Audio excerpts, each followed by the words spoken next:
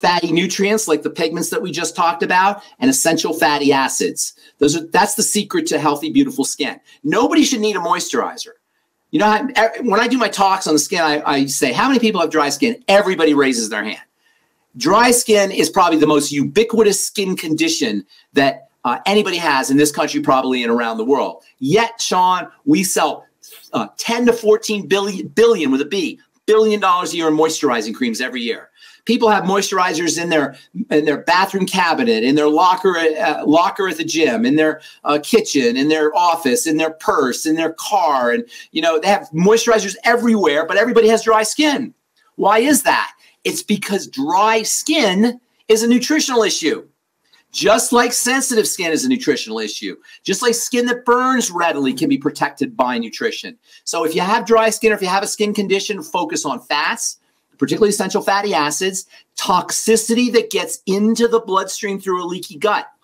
Toxicity that gets into the bloodstream through a leaky gut can result in eczemas. It can result in psoriasis. It can result in uh, uh, rosacea. It can result in forms of acne. Make sure that you're using nutrients that stabilize the growth of skin cells. When skin cells grow too fast, they can cause plugs, and that's one of the causes of acne.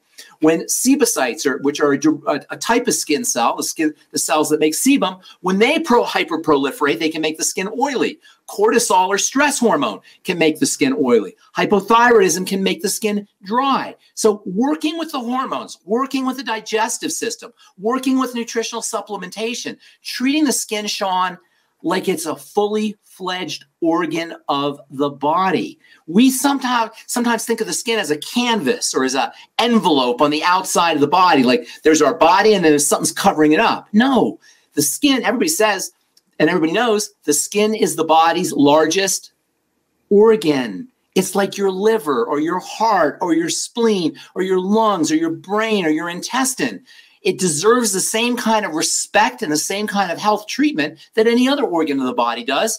And that, to me, as a pharmacist who practices uh, nutritional pharmacy, that means good nutrition internally, staying away from problem foods, whether it's processed oils or, or fried fats, as we said earlier, or allergenic foods, foods that you have uh, allergic reactions to, lectins and beans and dairy and eggs. So many people have reactive skin because of the foods they're eating. So staying away from problem foods, using nutritional supplementation. And as far as topical skincare goes, the best and the most important topical ingredients are going to be nutrients. That's why with my True Skin Health products, they're topical nutritional supplements. Vitamin C, fat soluble, uh, vitamin A in its retinol or retinoic acid form, plant derived minerals, vitamins D and E and A and K. All of these nutrients do for your skin what they do for the inside of your body. They support growth, they suppress uh, sensitivities and immune reactions. They're important for the production of various connective tissue fibers and uh, goos, polysaccharides like hyaluronic acid, for example, and collagen and elastin. Topical nutrients are by far the most important skincare ingredients you could ever use.